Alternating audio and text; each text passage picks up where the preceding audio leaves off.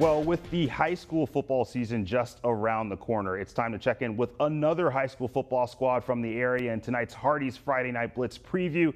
WFXR Sports Director Jermaine Farrell caught up with Craig County football coach Jimmy Fisher about heading into the 2023 season.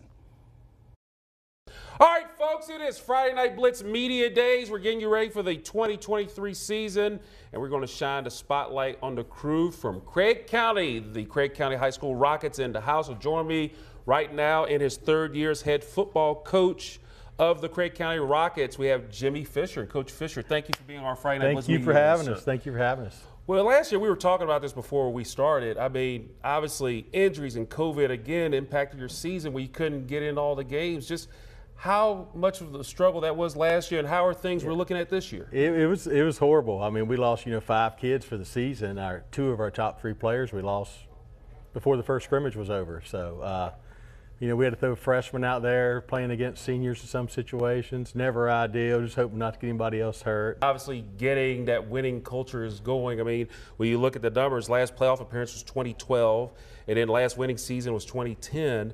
And this program has never won a playoff game, 0 3 in the playoffs. So, what do you feel you have to do? You're in your third year, and obviously, when you started, I mean, COVID. So obviously, I mean, do you feel like now you're starting to kind of get into a spot because we're past the COVID era, and you know, just that the players kind of expect what they expect from you?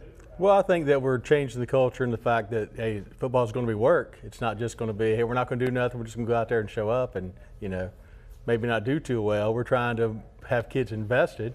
You know, it's well, like I said, we've had a good turnout in the weight room, so we're a little faster and a little stronger than last year. Uh, still young, still very young. Tell you what, I appreciate you, sir. You're awesome. Thanks for making a trip thank, Friday Night Blitz Media us. Days. And thank of course, the, the Craig County Rockets, they're going to get their season started on August the 25th as they visit Bland County as our Friday Night Blitz Media Days rolling on as we get you ready for the 2023 season.